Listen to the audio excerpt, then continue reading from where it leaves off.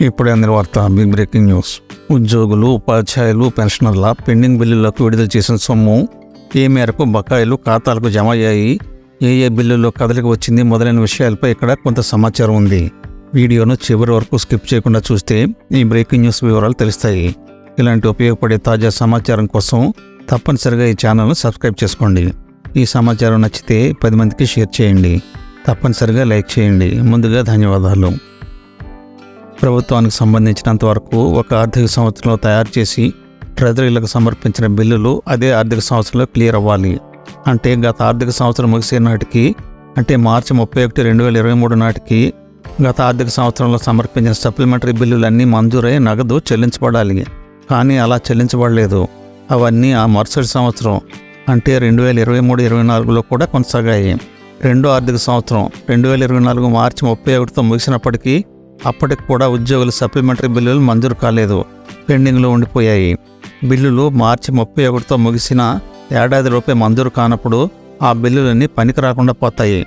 అవి మరుసటి సంవత్సరంలో మంజూరు చేయడానికి పనికిరావు ఇలాంటి పెండింగ్ బిల్లులన్నింటినీ మరలా కొత్తగా తయారు చేసి కొత్త బిల్ ఐడియలతో ట్రెజరీలకు ఆన్లైన్లో మళ్ళీ సబ్మిట్ చేయాల్సి ఉంటుంది.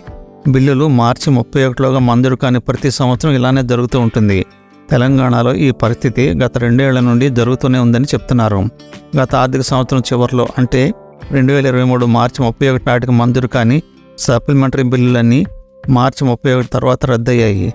మరలా వాటిని రెండు వేల ఇరవై మూడు ఇరవై నాలుగు ఆర్థిక సంవత్సరానికి రీషెడ్యూల్ చేశారు. రెండోసారి రెండు వేల ఇరవై నాలుగు మార్చి ముప్పై ఒకటి నాటికి కూడా ఇవి మంజూరు కాకపోవడంతో వీటిని మరలా రీషెడ్యూల్ చేయాల్సిన పరిస్థితి వచ్చింది. బడ్జెట్ కేటాయింపులతో సంబంధం ఉండే పీఆర్సీ బిల్లులు డీజే బిల్లులను మార్చి ముప్పై ఒకటిలోగా చెల్లించకపోవటం వల్ల ప్రతి సంవత్సరం ఆ బిల్లులకు కాలదోషం పట్టి మరలా రీషెడ్యూల్ చేసుకోవాల్సి వస్తుందని ఉద్యోగులు వాపోతున్నారు. ట్రెజరీలో పేరుకుపోయిన బిల్లులు రకరకాలుగా ఉన్నాయి.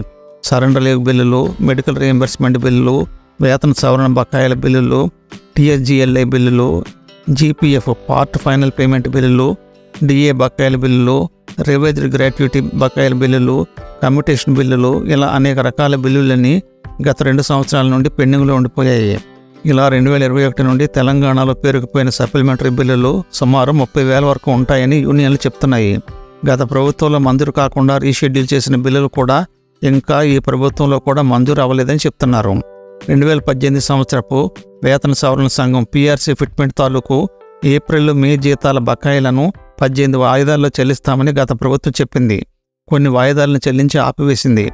ఒక్కొక్కరికి పిఆర్సీలో పెరిగిన సొమ్ము సుమారు డెబ్బై ఐదు వేల వరకు ఉంటుందని లెక్క. ఈ పద్దెనిమిది వాయిదాలు రెండు వేల ఇరవై రెండు డిసెంబర్ నాటికల్లా ముగిసిపోవాలి. కానీ చెల్లింపులు ఇప్పటికీ పూర్తవలేదు దీనివల్ల వీటిని మరలా రీషెడ్యూల్ చేయాల్సి వచ్చింది. రెండు వేల ఇరవై రెండు జనవరికి సంబంధించి రెండు వేల ఇరవై మూడు జనవరిలో ప్రకటించిన డిఏ మూడు పాయింట్ ఆరు నాలుగు తాలూకా పన్నెండు నెలల బకాయిలు పాత పెన్షన్ ఉద్యోగుల జీపీఎఫ్ ఖాతాలు జమ అయినప్పటికీ సిపిఎస్ ఉద్యోగులకు మాత్రం ఇప్పటివరకు చెల్లింపులు జరగలేదు. బిల్లులు మార్చి ముప్పై ఒకటి నాటికి మంజూరు కాకపోవటం వల్ల వాటిని మరలా తయారు చేసి సబ్మిట్ చేయాల్సి వస్తోంది. పదవి విరమణ చేసిన ఉద్యోగులకు చెల్లించాల్సిన ఎరన్ లీవ్ బిల్లుల పరిస్థితి కూడా ఇలానే ఉంది. రిటైర్ అయిన వారికి ఇవి బకాయిలుగా మిగిలిపోతున్నాయి. జీపీఎఫ్ పార్ట్ ఫైనల్ బిల్లుల పరిస్థితి కూడా ఇలానే ఉంది. టీఎస్జిఎల్ఐకి సంబంధించిన బిల్లులు కూడా ఇలానే పెండింగ్లో ఉండిపోయాయి.